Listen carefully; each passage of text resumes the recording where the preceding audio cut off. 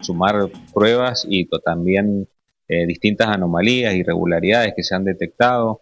Eh, por ejemplo, para poner un ejemplo, 8 millones de pesos que no han sido, de viáticos que no han sido rendidos, subsidios que no han sido rendidos, por ejemplo, 10 millones de pesos, estábamos hablando del año pasado, hoy día si lo, si lo actualizamos estaríamos hablando mucho más.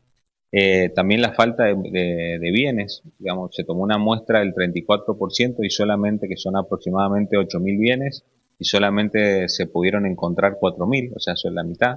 Bienes registrables. Y particularmente bienes registrables y de valor. vehículos. Por ejemplo, han faltado vehículos, motos, eh, y después otros, otros bienes que tienen que ver con el funcionamiento de, de, cualquier área, como por ejemplo el área de obras municipales, falta de elementos de herramientas y también de luminarias que deberían estar. ¿Desvío de material para arreglos de una plaza? Ese es un caso particular. Eh, se desvían materiales, eh, se hacían donaciones a personas que no están identificadas, cuando la función de donar es del Consejo Deliberante.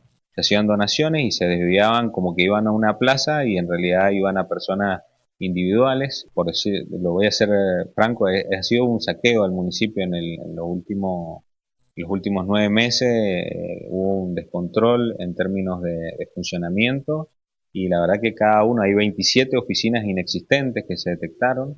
Esas oficinas requerían cosas pero no iban a ningún lugar, o sea, no se devolvían a, los vecinos, sino lo que hicimos es constatar cuál era la situación real del municipio en la que recibimos y la verdad que es calamitosa y muy eh, triste para el departamento de las Heras. ¿Hay alguna sospecha de dónde puede haber ido tanto dinero?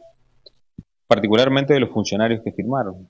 Ellos eh, son los responsables y son los que el tribunal eh, en su momento evaluará si tendrá que aplicarle cargos o tendrá que aplicarle multas. Sí lo vamos a hacer eh, las denuncias penales correspondientes, en donde quepa que, que visualicemos un delito, y lo otro correrá por el Tribunal de Cuentas cuando haga su evaluación, pero las denuncias penales, en casos muy explícitos, las vamos a hacer ejemplo, ¿sobre quién? Y, por ejemplo, la donación de, bienes eh, materiales, por ejemplo, bolsas de cemento se donaban, se entregaban como donación, y eso es un delito, digamos, se estaba despilfarrando bienes del Estado para eh, hacer proselitismo político. ¿Qué funcionarios están o exfuncionarios están bajo la lupa? Hay, hay varios funcionarios eh, respecto de particularmente vinculados a la Secretaría de Gobierno.